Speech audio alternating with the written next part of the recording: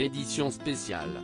Il y a quelques semaines, l'émission des Reines du Shopping, présentée par Christina Cordula, avait été consacrée aux Miss France. Cette fois-ci, ce sont seulement les célébrités qui sont mises en avant. Parmi elles, Clara Morgan, Jade Leboeuf, Frédéric Bell et Angun. Comme pour chaque semaine spéciale, elles ont pour but de décrocher le titre de reine du shopping afin de faire remporter 10 000 euros à l'association de leur choix. La première candidate à avoir ouvert le bal ce lundi 29 novembre était Angun. Elle a ainsi fait un shopping de compétition qui lui a permis de choisir un look bien particulier pour correspondre au thème de la semaine, séduisante en pantalon. Sa tenue a été récompensée par une moyenne de 16 vingtièmes des CIST donc le score quoi tenter de battre Elsa Esnou ce mardi 30 novembre. Suite à son défilé, l'actrice obtient la note de 14, 5 vingtièmes.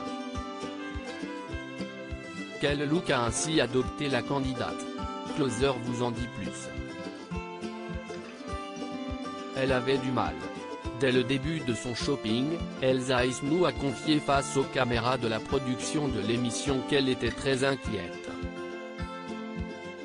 Pour moi, si est un sacré challenge, a-t-elle expliqué.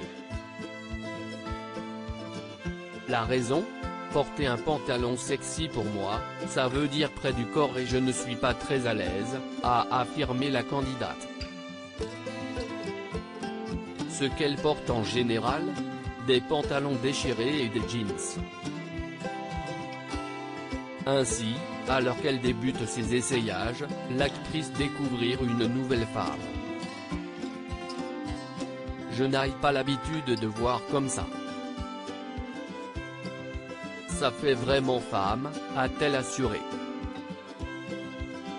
Lors du défilé, les autres candidates ont donc pu découvrir que Elsa Esnou avait opté pour un total look noir.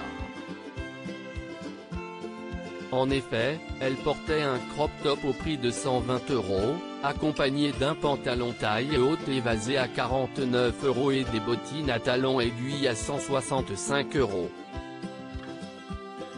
Elle a accessoirisé le tout d'une pochette Bordeaux à 20 euros. Elle est canon, a affirmé Jade Leboeuf. De son côté, Frédéric Bell a expliqué ne pas trop aimer. Un avis partagé par la présentatrice de l'émission. Ça lui va très bien mais je trouve qu'on est un peu trop dans la simplicité. Ça manque de pièces fortes mais elle est dans le thème, a-t-elle conclu.